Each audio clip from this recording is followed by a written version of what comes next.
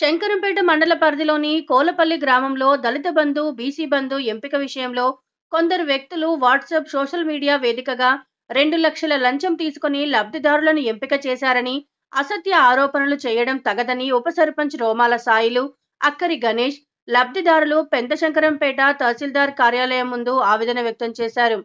BC Bandhu Dalit Bandhu లబ్ధిదారులైన Sai Kiran Prabhakar bagger యాదయ్యలు మాట్లాడుతూ మేము లబ్ధిదారులం. ఎక్కడైనా చర్చకు సిద్ధమని ఎవరికీ ఎలాంటి ల- లంచాలు ఇవ్వలేదని అనవసరంగా ప్రజలను తప్పుదోవ పట్టించాలని కొందరు వ్యక్తిగతంగా చేస్తున్న ప్రయత్నమని ఇలాంటి ప్రయత్నాలు మానుకోకుంటే పరువు నష్టం కింద కోర్టుల చుట్టూ తిరగాల్సిన పరిస్థితి వాళ్ళకు వస్తుందని హెచ్చరించారు.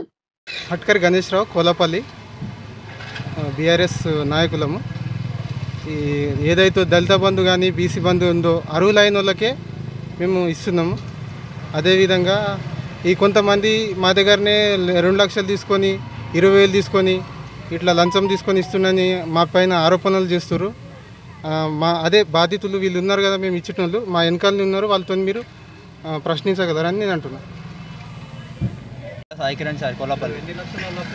బీసీ బంధు కింద వన్ లాక్ రూపీస్. అమౌంట్ ఇచ్చారా? ఎవరికి ఎలాంటి లంచం ఇవ్వలేదు.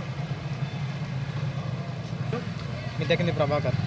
మీరు ఎంత గవర్నమెంట్ బీసీ బంధు బంధు లక్ష రూపాయలు వచ్చింది. అమౌంట్ ఎవరైనా ఇచ్చారా? ఎవరికి రూపాయి కూడా ఇవ్వలేదు ఆ, అప్లై చేసుకుంటుంది అరువులైన నేను లేదు ఎవ్వరు కూడా రూపాయలు లంచం ఇవ్వలేదు ఆరోపణలు చేస్తురు సంగమేష్ అని సాయిలు అని. బేగర్ సాయిలు? బేగర్ సాయిలు. ఆయనే ఉన్నారా? ఆయన ఇంకా ఇంకెవరైనా ఉన్నారా? మీరు మన అనుమానం ఉన్నారు? అనుమానం అనుమానం ఉన్నది కానీ ఇంకా అదే. అనుమానం. మీరైతే ఎవరికి కూడా ఎలాంటి రూపాయి కూడా లంచం ఎవ్వరికి కూడా రూపాయి వెళ్ళాం మేము. అరుగులం మేము. అప్లై చేసుకున్నాం వచ్చింది. సార్ మా పేరు బేగర్ యాదయ్య. మేము దళిత బంధు గురించి అప్లై చేసుకున్నాము.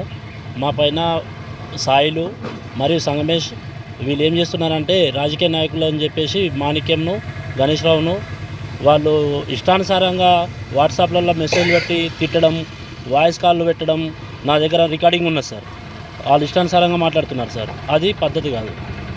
కొంచెం వాళ్ళకు చెప్పాలని కోరుకుంటున్నాను.